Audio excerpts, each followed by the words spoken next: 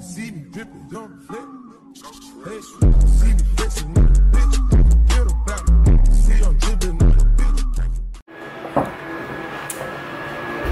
Hey guys, me Bri. I'm back and better than ever with another video you already know. So, today's video is a little special because we're going to talk about my favorite holiday, Halloween. What's September?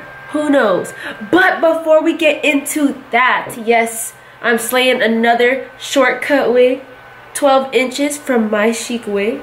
They've just been hooking me up with wigs lately, and you know what? I'm not to say no, even though I have a full head of hair underneath. There's nothing wrong with changing up with hair safe styles. Is that what it's called? Protective hairstyles so that you know you're still protecting and taking care of your hair underneath the cap.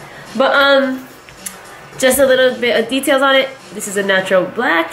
Um, it came pre-plucked, but of course I slayed the baby hairs down to make it um, you know look a little more natural. And um, it's a natural wig, natural black, you know. It's real nice, smooth, silky. I'm probably gonna dye it and color it, but not today.